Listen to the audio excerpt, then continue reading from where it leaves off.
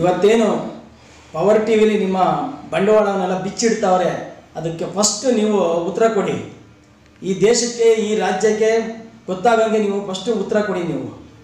ನಿಮ್ಮ ನಿಮ್ಮಲ್ಲಿರುವಂಥ ಎಲ್ಲ ಸಚಿವರುಗಳು, ಕಳಪೆ ಸಚಿವರು, ಕೊರೋನಾದಲ್ಲಿ ದುಡ್ಡು ಮಾಡಿದ್ರಿ ನೀವು. ಎಷ್ಟು ಕೋಟಿ ಲೂಟಿ ಮಾಡಿದ್ರಿ. ಕೊಡುವಂಥ ಕಿಟ್ಗಳಲ್ಲಿ ಲೂಟಿ ಮಾಡಿದ್ರಿ. ಕೊಡೋ ಮಕ್ಳಿಗೆ ಕೊಡೋಂಥ ಲ್ಯಾಪ್ಟಾಪ್ಗಳನ್ನ ಇನ್ನೂ ಕೊಟ್ಟಿಲ್ಲ ಮಕ್ಳುಗಳಿಗೆ. ಅದನ್ನು ಲೂಟಿ ಮಾಡಿದ್ದೀರಾ. ಇವೆಲ್ಲದ್ರ ಬಗ್ಗೆ ನೀವು ಏನಾದ್ರು ತನಿಖೆ ಮಾಡೋಕ್ಕೆ ನಿಮ್ಗೆ ಧೈರ್ಯ ಇದೆಯಾ? ನಿಮ್ಮ ಸರ್ಕಾರದೊಳಗಿರೋ ಎಲ್ಲರನ್ನೂ ಸೇ ಸೇಫ್ ಸೇಫ್ ಮಾಡ್ತಾ ಇದ್ದೀರಾ ನೀವು? ಇದ್ರ ಬಗ್ಗೆ ನಿಮಗೇನಾದರೂ ಗೌರವ ಇದ್ದರೆ ಫಸ್ಟ್ ಮುಖ್ಯಮಂತ್ರಿ ಸ್ಥಾನದಿಂದ ಕೆಳಗಿಳಿರಿ. ಇಳಿದ್ಬಿಟ್ಟು ನೀವು ಇದಕ್ಕೆ ಜವಾಬ್ದಾರಿ ಯಾರಾಗಿದ್ದಾರೆ, ಏನು ಪರಿಹಾರ ಕಂಡುಹಿಡಿತೀರಾ ಅನ್ನೋದು ಫಸ್ಟ್ ಕಂಡುಹಿಡೀರಿ ಅಂತ ನಾನು ಇವತ್ತು ಮುಖ್ಯಮಂತ್ರಿಯವರಿಗೆ ಸವಾಲಾಗ್ತಾ ಇದ್ದೀನಿ ನಾನು.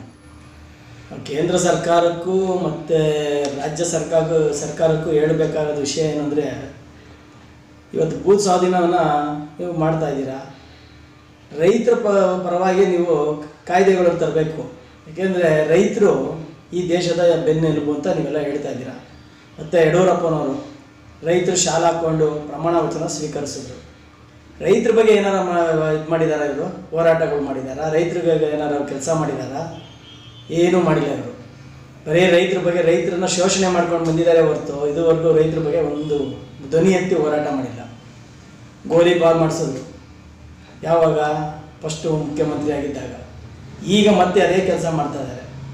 ರೈತರುಗಳು ಇವಾಗ ತಿಳ್ಕೊಬೇಕು ಸ್ವಲ್ಪನಾದ್ರು ಏನು ಅಂದರೆ ಅವತ್ತು ಕುಮಾರಣ್ಣವರು ರೈತರಿಗೆ ಕಾ ಸಾಲ ಮನ್ನಾ ಮಾಡಿದ್ರು. ಎಷ್ಟು? ನಲವತ್ತೆಂಟು ಸಾವಿರ ಕೋಟಿ ಸಾಲ ಮನ್ನಾ ಮಾಡಿ ರಾಜ್ಯದ, ಈ ದೇಶದ ಮುಖ್ಯ, ಮುಖ್ಯಮಂತ್ರಿಯಾಗಿ ನಂಬರ್ ಒನ್ ಅಂತ ಹೆಸರು ತಗೊಂಡ್ರು. ಆದರೆ ಅಂಥವ್ರನ್ನ ಕೆಲವು ದುಷ್ಕರ್ಮಿಗಳ ಥರ ಕೆಲಸ ಮಾಡಿ ಶಾಸಕರುಗಳು ಕೆಲವರು ಅವ್ರನ್ನ ಕೆಳಗಡೆ ಇಳಿಸಿದ್ರು ಯಾಕೆಂದರೆ ಅವರ ಸ್ವಾರ್ಥಕ್ಕೋಸ್ಕರ ಮಾಡಿದ್ರು ಅದನ್ನು. ಅದಕ್ಕೋಸ್ಕರ ರೈತರುಗಳು ಇವತ್ತಾರು ಎಚ್ಚೆತ್ಕೊಂಡು ಈ ಬಿ ಜೆ ಪಿ ಸರ್ಕಾರನ ಕಿತ್ತೊಗೆದು ಮುಂದಿನ ದಿನದಲ್ಲಿ ಜೆ ಡಿ ಎಸ್ ಪಕ್ಷದ ನಮ್ಮ ಕುಮಾರಣ್ಣ ಮತ್ತು ದೇವೇಗೌಡರು ಮಾರ್ಗದರ್ಶನದಂತೆ ಈ ಸರ್ಕಾರವನ್ನು ಮತ್ತೆ ತೆಗೆದಾದ ಮೇಲೆ ಜೆ ಡಿ ಎಸ್ ಪಕ್ಷನ ಅಧಿಕಾರಕ್ಕೆ ಬಂದರೆ ಈ ದೇಶದಲ್ಲಿ ಮತ್ತು ಈ ರಾಜ್ಯದಲ್ಲಿ ಒಳ್ಳೆ ಕ ಒಂದು ಅಭಿವೃದ್ಧಿ ಕೆಲಸಗಳು ನಡೀತವೆ ಅಂತ ನಾವು ಹೇಳಕ್ಕೆ ಇಷ್ಟಪಡ್ತೀವಿ. ಸರ್ ಇವತ್ತು ಭೂ ಸ್ವಾಧೀನ ಮಣ್ಣೆ ಆಗಿದೆ. ಕೇಂದ್ರ ಸರ್ಕಾರ ರಾಜ್ಯ ಸರ್ಕಾರ ಮಣ್ಣೆ ಮಾಡಿದೆ. ಯಡಿಯೂರಪ್ಪನವ್ರಿಗೆ ಮತ್ತೆ ನರೇಂದ್ರ ಮೋದಿ ಅವರಿಗೆ ನೀವು ಏನು ಸಂದೇಶ ರವಾನೆ ಮಾಡ್ತೀರಾ?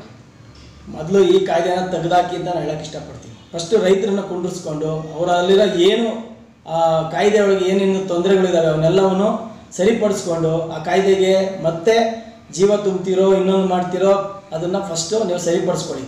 ಅಂತ ನಾನು ಇವತ್ತು ನರೇಂದ್ರ ಮೋದಿ ಅವರಿಗಿರ್ಬೋದು ಮು- ಮುಖ್ಯಮಂತ್ರಿಗಳಾದ ಅಂತ ಯಡಿಯೂರಪ್ಪನವ್ರಿಗಿರ್ಬೋದು ಇದು ಮಾಡ್ತಾ ಇದ್ದೀವಿ ಏನು ನಿಮ್ಮ ಮಗಂದು ಮುಖ್ಯಮಂತ್ರಿ